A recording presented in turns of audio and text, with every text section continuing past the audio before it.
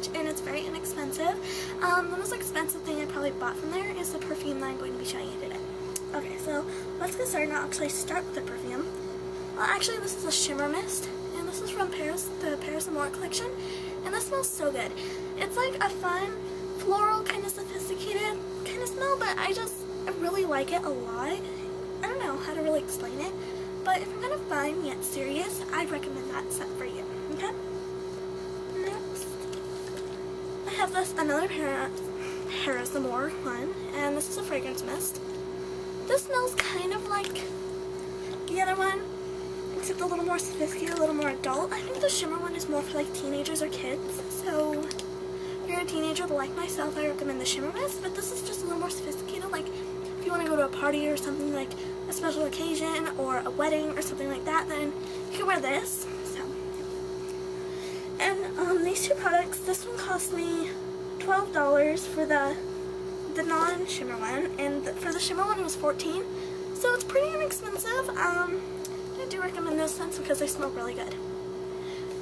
Next I have hand sanitizers, and I always get hand sanitizers. Oh wait, actually, I have another perfume, and this is a warm vanilla one, which I'm sure everyone has smelled this, because this is like a classic smell, and this is just another sophisticated yet warm, I love it. Next I have a hand sanitizer, and this is a cinnamon glazed donut one from the donut ones. Oh, camera's a little in the way, but yeah. This smells really good. It smells like cinnamon, pretty much. So, I really like that, except it's a little more kind of strong, so I wouldn't recommend putting it on at class or something, because people will be like pointing and be like, oh, you're smelling like, I don't know. Happened to me before. Okay. Next is another donut one, which has the same concept of don't put it on in class because they will smell it and they'll just be pointing and laughing all day long. And this is the blueberry cake donut, and this smells really good. It smells like blueberry cake donut. Mm-hmm. I really have any other way to explain how it smells. It just smells really good. So, I like that one. Next is a lunchbox one. This is the honey pretzel. And this smells really good. It smells like caramel corn actually. And this is my all-time favorite so far. I love this. Besides the candy corn at Halloween, OMG. I love that.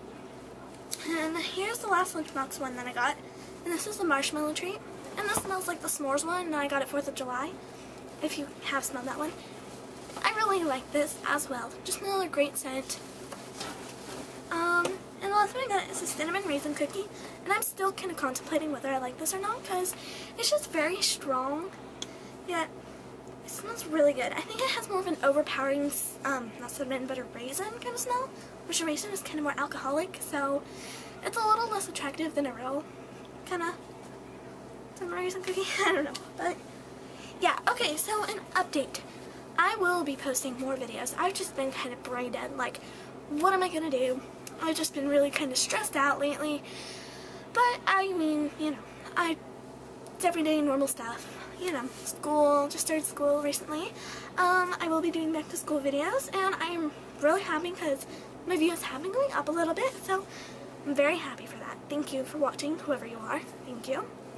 Um, I will be back with more videos. I'm sorry if I'm like super awkward in front of the camera because I'm just starting, I'm very new at this, and it's really, really hard. So, if my voice sounds like shaky or anything, just like, you know, bear with me because I will get more comfortable.